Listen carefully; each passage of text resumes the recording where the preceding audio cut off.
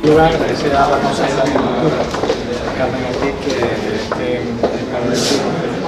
y la verdad es que hemos estado teniendo una reunión que fundamentalmente hacer una presentación que yo creo que es un tema bastante interesante de la apuesta que está haciendo Sunafor con, con, el tema de, la naranja, está haciendo siempre investigando mucho, haciendo nuevos productos. Y ahora tenemos la, la que hay una alianza entre Fumosol y también el Valle de Guadalupe, que es la naranja de calidad del Valle de Guadalupe, que van a hacer, bueno, están haciendo ya una producción, están ya para comercializar y realmente es un valor añadido muy fuerte que le va a dar a la zona, desde luego. Y eh, una forma de proteger a nuestros agricultores, de proteger a nuestra agricultura, es eh, poner en relieve que aquí sabemos producir bien y cada vez podemos comercializar e industrializar. Eh, también hemos tenido la oportunidad de hablar con la consejera sobre el proyecto de la naranja en general que se aprobó en pleno por unanimidad de todos los grupos políticos y todas las actividades que podemos ir eh, llevando a cabo. La consejera se ha mostrado bastante receptiva, tengo que decir, y que vamos a empezar a trabajar este proyecto, un proyecto similar que podamos ejecutar de forma conjunta donde todo el sector esté integrado, esté también todos los trabajadores, sindicatos, y que realmente hagamos de la naranja verdaderamente un producto estrella pero que le demos suficiente valor añadido, en este caso que estamos dando, para realmente generar riqueza y empleo. Por eso, por esa receptividad que ha mostrado la consejera, por su visita y el apoyo a este proyecto muy interesante, te quiero volver a agradecer su presencia.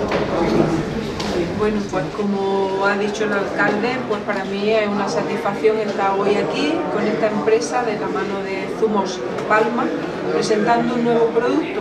un, producto, un zumo de naranja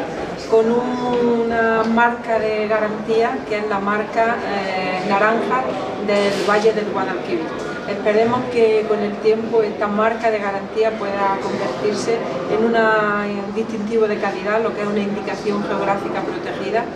y como digo que diferencia, que diferencian el producto por su calidad y por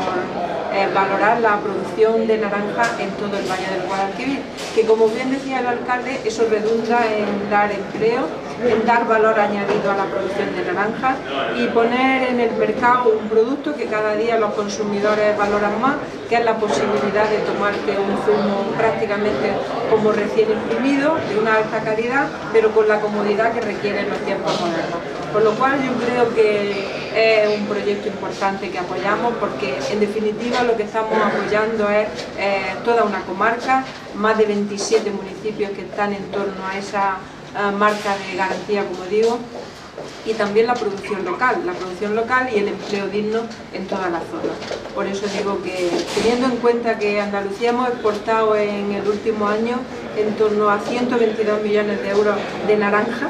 y en la provincia de Córdoba 24 millones de euros. Eh, tenemos que seguir apostando por darle valor añadido, porque se valoren los productos, la naranja, la producción de naranja de Andalucía y de Córdoba, porque de nuevo se manipule y haya eh, el manipulado se quede en nuestra tierra y que el valor añadido y la industria siempre van a tener en ese sentido el apoyo de la Consejería de, de Agricultura. El alcalde me ha hecho entrega de ese documento, creo que es muy importante el trabajo que se hace desde el ayuntamiento y con la motivación total del alcalde por hacer una, una puesta en común de qué necesidades tiene el sector de cítricos